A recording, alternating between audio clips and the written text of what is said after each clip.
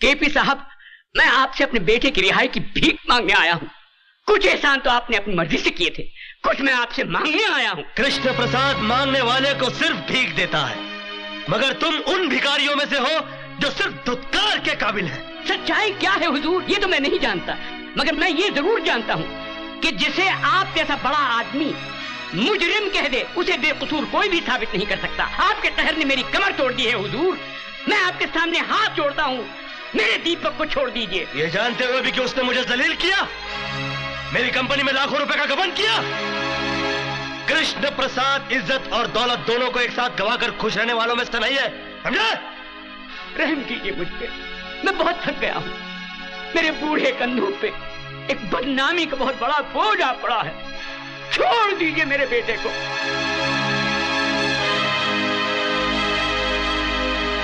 ठीक है। मैं तुम्हारे बेटे को छोड़ देता हूँ। तुम अपनी बहू को मेरे पास भेज दो। कृष्ण प्रसाद!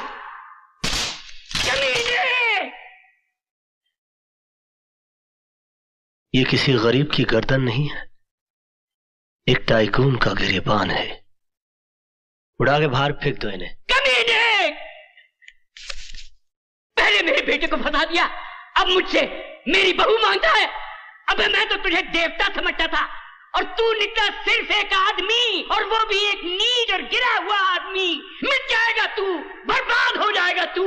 लोग थूकेंगे तेरे इतिहास पर, और लानत भेजेंगे तेरी हस्ती पर। ये मेरी बददुआ है तेरे लिए, समझे? ये मेरा श्राप है तुझे, कृष्ण प्रसाद!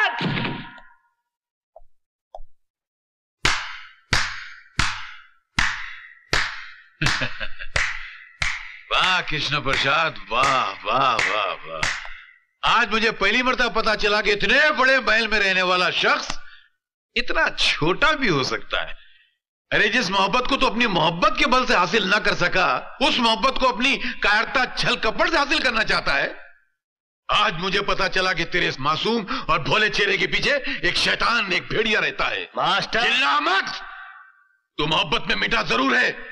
मगर मोहब्बत के फलसफे को नहीं समझा तू। बहुत ऊँचा फलसफा है। और मैं यहाँ तेरी शरारतों को रफू करने आया था। तेरी बदतमीजों को रफू नहीं कर सकता मैं। मैं जा रहा हूँ। अरे जा। मुझे किसी की ज़रूरत नहीं है। अरे जब मैंने अपने दिल में रहने वालों के जाने का अफसोस नहीं किया तो घर से जाने वालों की परवाह क्या करूँगा? मास्टर तो सिर्फ़ बातों की चिंदिया रफू कर सकता है। दिलों के चिथड़ों को नाई चल जा। कोई ज़रूरत नहीं है मुझे किसी की।